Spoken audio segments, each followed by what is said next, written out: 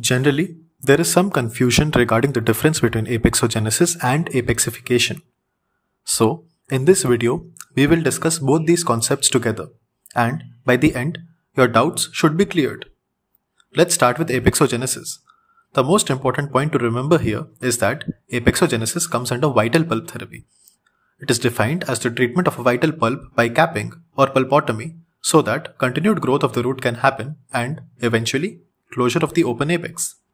The logic behind this is that if the radicular pulp is healthy in an immature tooth, then the root growth will happen normally. Let's see the indications for apexogenesis. It is performed for a traumatized or pulpally involved vital permanent tooth when the root apex is incompletely formed. There should be no history of spontaneous pain, no sensitivity on percussion. The bleeding from the pulp should be controllable, and the tooth should appear normal on the radiograph.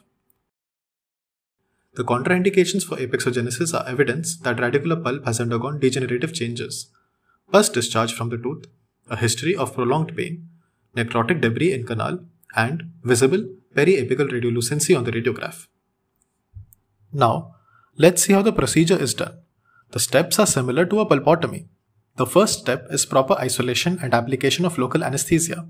Then, all the carious tooth structure is removed and access to the pulp chamber is made. The coronal pulp is removed with the use of excavators, and we should make sure that we do not damage the radicular pulp during this step. Then, we place a moist cotton pellet over the pulp stumps to control bleeding.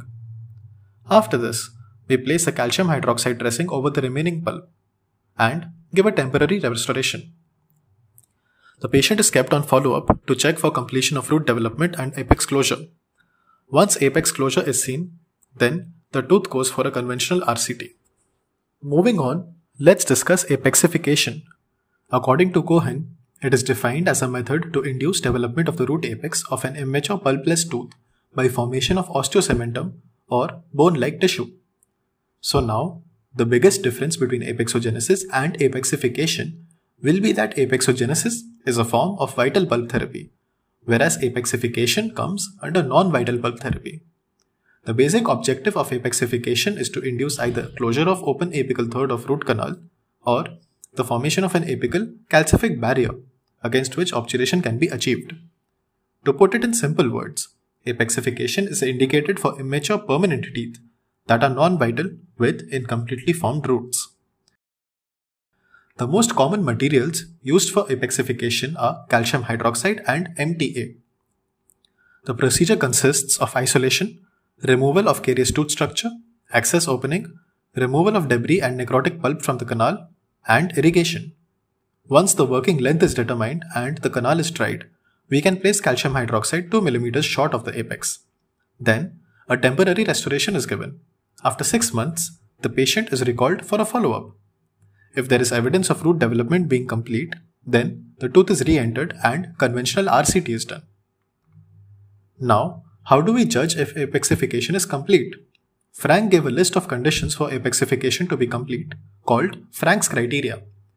According to him, apexification is complete if apex is closed through minimum recession of the canal, or if apex is closed with no change in root space, or if there is a radiographically apparent calcific bridge at the apex. Also, even if there is no radiographic evidence of apical closure, but upon clinical instrumentation there is a definite stop at the apex, this indicates calcific repair, which means that apexification has taken place. Alright, that's it for this video. To recap, apexogenesis comes under vital pulp therapy. It is defined as the treatment of a vital pulp by capping or pulpotomy so that continued growth of the root can happen and, eventually, closure of the open apex. The contraindications for apexogenesis are evidence that radicular pulp has undergone degenerative changes, pus discharge from the tooth, a history of prolonged pain, necrotic debris in canal, and visible periapical radiolucency on the radiograph.